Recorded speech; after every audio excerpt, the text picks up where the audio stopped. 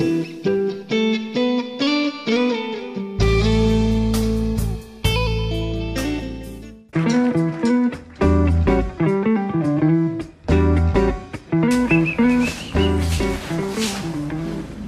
hace? ¿Cómo se me cae la mente? ¿Se ¿Sabe dónde estamos? ¿Qué sé yo? Es un tugurio. Estamos en la municipalidad de Ituzaingó. Ahora. Gracias. Ahí viene la señora. Eh, Trabajador, mirá, todo, todo. ¿Qué hora es? Pero esto no era Casa Ofelia. Era. En Yo un vine a momento. comprar unos clavos. En un momento era. Bueno, hablando de clavos. Ahí, ahí, ahí perdemos, viene más Uh, gente no. todavía. Eh, vaya, vaya usted, vaya usted. No, mirá cómo vienen. Vienen en equipo, ¿Me van a palpar de armas?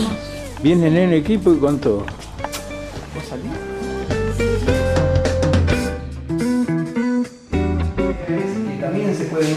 Este habla todo el tiempo, nos habla de esto, del otro, no entendemos nada. ¿Qué, qué va a pasar? Primero la hora que es.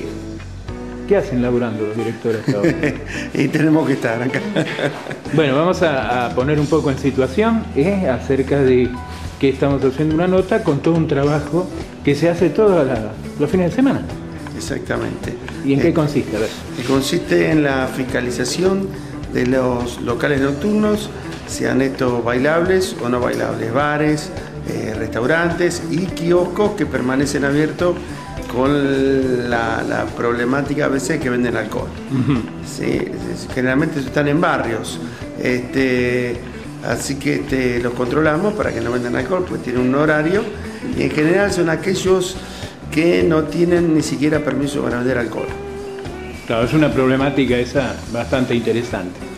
Ahora vamos a, a seguir, vamos a ver si, si nos admiten para acompañarlos un poquito en el trabajo. Y vos, Martín, estabas explicando acá eh, la, la tecnología. Nosotros habíamos hecho ya una nota cuando todavía no estaba instalado el GPS, así que a los vecinos es interesante que le comentes un poco la funcionalidad, Bueno, ¿no? Acá nos encontramos en la oficina donde se monitorea todas las actividades de seguridad en red que, que lleva adelante el municipio. ¿no? Eh, en el monitor que, que tienen ahí, en el LCD grande, ahí lo que se puede ver son los eh, móviles, los patrulleros que complementan a nivel preventivo la seguridad que brindan las comisarías. ¿no? Esto es lo que normalmente se denominan las cuadrículas. Esas son las cuadrículas y ahí se ven lo- los móviles. Estamos, son las 1 y 36 de la mañana. En este horario hay una guardia que, dura las 24 horas, los 365 días del año, y ahí estamos viendo específicamente lo que tiene que con seguridad en red. De la misma manera que podemos ver esos patrulleros, lo que podemos ver también son los móviles de fiscalización, que es lo que hoy los invito que, que compartamos una, una jornada de lo que es una salida nocturna de- del control de fiscalización. ¿no? Yo te, te voy a interrumpir porque, bueno, los vecinos normalmente no están enterados de- del operativo en sí. Vos me hablas de los móviles que son policiales y me estás hablando de otros móviles que, que serían. Bien, en realidad como para que lo- los vecinos lo puedan entender, eh, esto se busca trabajar en equipo a partir de todas las áreas del área de seguridad para poder brindar el mejor servicio que, que uno pueda llegar a ofrecer con los recursos que hay. Afortunadamente cada vez hay más recursos eh, desde lo tecnológico y también de los recursos humanos.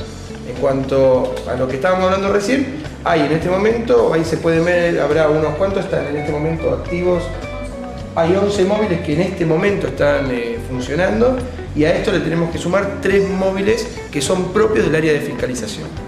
Estos tres móviles básicamente se mueven en tres cuadrículas, en tres eh, eh, corredores, que son los corredores donde todos los vecinos conocemos, que están principalmente eh, los bares y lugares nocturnos, que es Rivadavia, lo que es Santa Rosa y la colectora de lo que es Acceso Oeste.